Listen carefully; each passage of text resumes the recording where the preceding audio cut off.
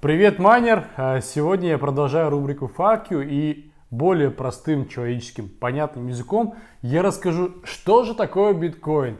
Давай начнем.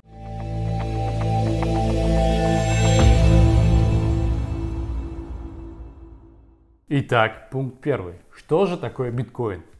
биткоин происходит от английского слова bit, минимальная единица информации, и коин монета. Это платежная система, основанная на определенной технологии, которая называется peer-to-peer, равный к равному. И эта система использует открытый протокол передачи данных, где основной единицей как раз является биткоин, известный как первой криптовалютой э, в мире. Главной особенностью биткоина является децентрализация. Что же такое децентрализация? Биткоин, он работает без участия какого-то центрального аппарата, Центробанка или какого-то одного человека. Также эмиссия монет, транзакции осуществляется лишь коллективным участниками сети. И к этой сети может присоединиться абсолютно любой желающий. И что это значит? Это значит, что работу биткоина нельзя заблокировать, нельзя отменить, нельзя отключить. Пункт второй. И чем же, например, биткоин отличается от обычных платежных систем. Вот, например, возьмем там Kiwi, э, WebMoney, VMZ или там Яндекс Деньги. По сути, это те же платежные системы, которые используют э, традиционные валюты для перевода денежных средств. Это там рубль, доллар, евро. И в основном это те же самые электронные деньги, эквивалентные их номиналу в той или иной валюте, например. Но что касается биткоина, биткоин генерируется самими пользователями, используя компьютерные мощности. И второй момент, э, пользователям биткоина не нужно проходить вот эту аутентификацию, загружая, загружая кучу документов при регистрации для того, чтобы начинать отправлять денежные средства. И еще один немаловажный момент, вы же знаете, да, что во всех этих электронных платежных системах существует централизация. Если они захотят, они могут заблокировать ваши счета или отменить вашу транзакцию.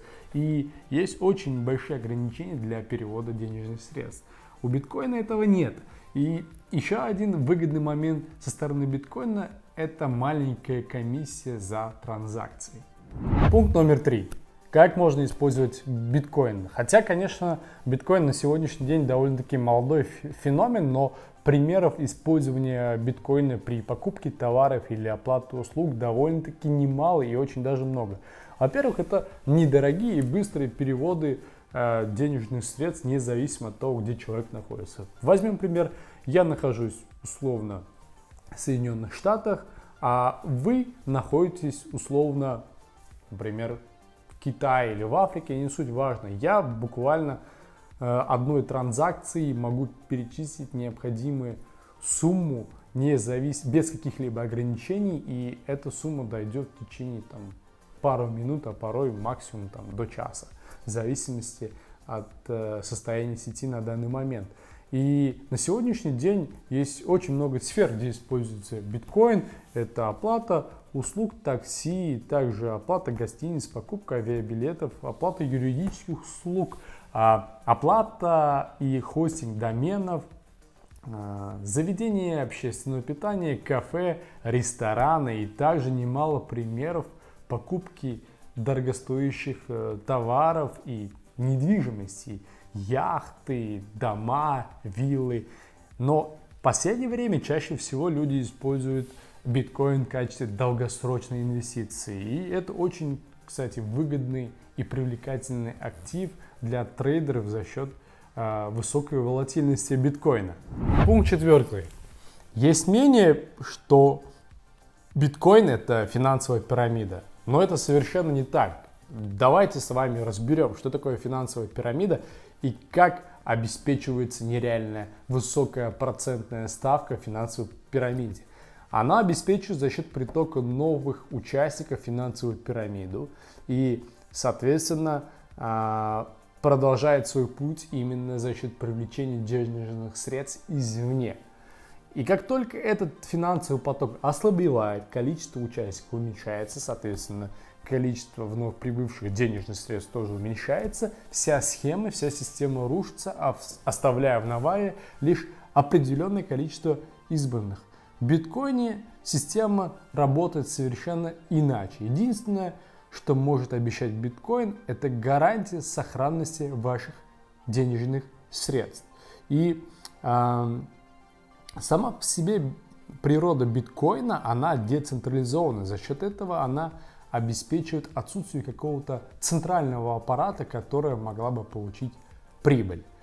И даже если мы представим с вами ситуацию, что спрос на биткоин растет, э, цена биткоина растет, то первые участники, первые покупатели биткоина, например, они не получают выгоду за счет вновь прибывших участников в систему, за счет вновь э, прибывших денежных средств в систему.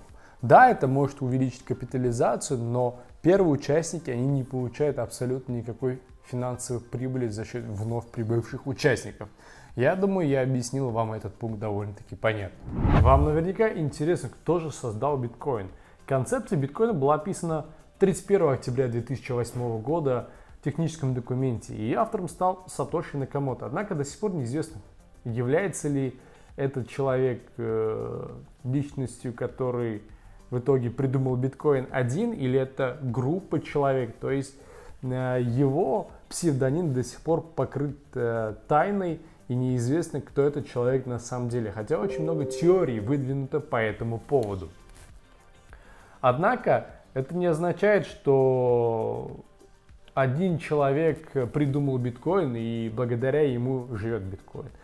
Эм, жизнь биткоина продолжается также благодаря а, программистам, которые обеспечивают э, развитие э, сети и развитие проекта. Однако для того, чтобы вносить какие-то глобальные изменения в ПО или вообще любые изменения в ПО биткоина, программное обеспечение биткоина, необходимо согласие э, майнинг-пулов. Это объединение владельцев компьютерных мощностей, за счет которых и создаются новые биткоины. Многие называют биткоин цифровым золотом. Почему же? На самом деле есть определенные сходства между реальным золотом и биткоином. А, давайте мы с вами обсудим эти сходства. А, в чем ценность золота? Во-первых, золото это редкий металл и у него есть определенные свойства, которые позволяют ему храниться в течение долгого а, времени. И также на добычу золота уходит очень много времени, и это дорогостоящие предприятия. Это оборудование, поиск э, золотых приисков. Также происходит и с биткоином. Дело в том, что а, количество биткоина ограничено. С каждым часом, с каждым днем а, все сложнее добывать биткоин. С каждым годом а, все сложнее и сложнее добывать биткоин.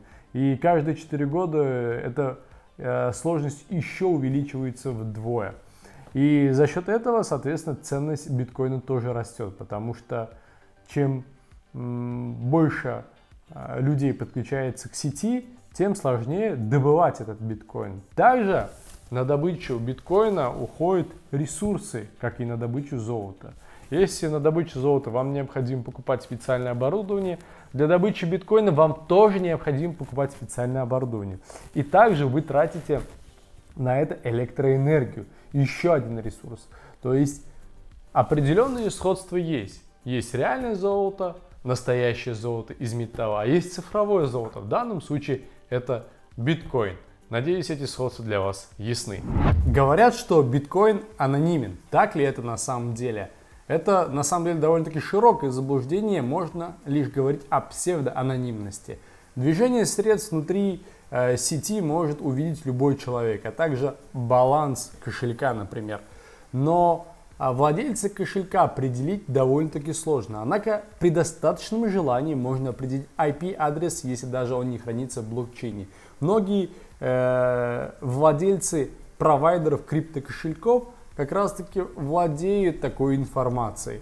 И, соответственно, к настоящему времени уже разработаны довольно-таки эффективные э, методики по отслеживанию владельцев э, криптокошельков и владельцев биткоинов э, с целью борьбы против отмывания денежных средств или как, если происходят какие-то незаконные обороты денежных средств. Такие известные компании, как Chain Analysis, Crystal, как раз таки занимаются такими задачами для государств для определенных служб. Если вас все-таки заинтересовал биткоин и вы захотели приобрести, наверняка вы спросите, а где купить-то биткоин? На данный момент биткоин можно приобрести э, во многих э, сервисах. Например, можно купить биткоин на биржах, э, депонировав туда фиатные деньги. То есть рубль, доллар или какую-то другую валюту, которую поддерживает биржа. И после этого оттуда вывести свои биткоины. Также можно приобрести биткоины через обменные сервисы. Сейчас на самом деле в каждой стране есть обменные сервисы и можно приобретать биткоин или другие криптовалюты, э, использовав банковские карты, либо при личной встрече. Конечно, личные встречи сопряжены определенными рисками, но если у этого обменного сервиса есть определенная репутация, и вы хорошенечко подготовились к встрече, то тогда можно приобрести биткоины при личной встрече. И, соответственно, обменные сервисы или биржи берут за это определенную комиссию. Надеюсь, это видео и эта информация для вас была полезной. Если вы хотите более подробно узнать о биткоине, о майнинге, продолжайте следить за нашим каналом, там подпишитесь, обязательно поставьте там, оповещение на колокольчик, нажмите, и вы постоянно будете оповещены о каких-то новых видео, которые будут выходить на нашем канале. Также переходите в наш телеграм-чат и телеграм-канал, там постоянно актуальная новая информация о майнинг оборудовании, о майнинг аппаратах, а также наш калькулятор доходности, который позволяет вам определить окупаемость оборудования с учетом вашего электричества. Желаю всем роста битка, э, хорошего настроения. Всем пока!